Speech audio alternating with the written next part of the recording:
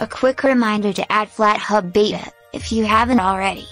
So you can get some cool stuff, like Blender 2.8. By the way, if you missed my previous video, and if you own a Chromebook, you can install and run Flatpak apps, on Chrome OS. Pretty neat, hmm? Anyway, first, we need to copy the normal FlatHub repo, because I don't have idea where's the beta link.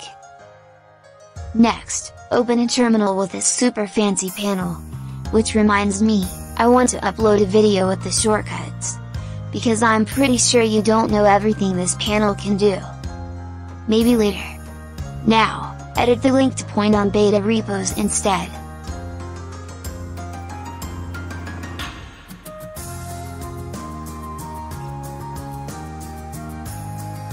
After you've added the beta channel, you can normally install apps, and if there are beta versions, Flatpak will ask you to pick channel.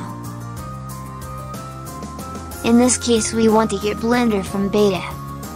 Something bad, is that Flatpak CLI doesn't show the version we're going to install, before we actually install it. But anyway, it is Blender 2.8.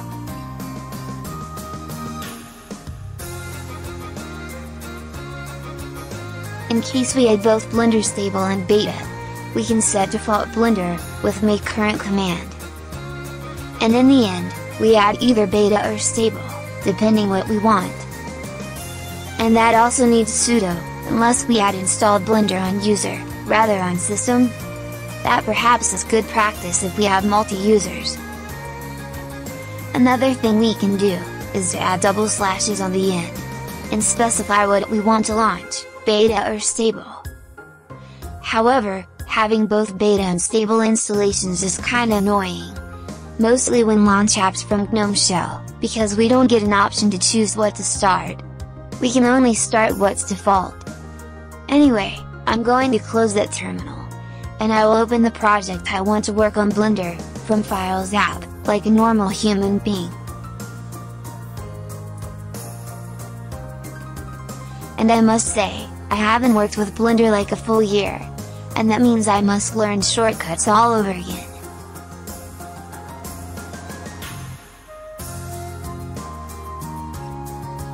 Well, at least now I got version 2.8, and I hope everything will just come back to me. And a last thing, I have no idea if Blender plugins work on Flatpak version. But as a very lucky guess, I would say no. But I don't really know,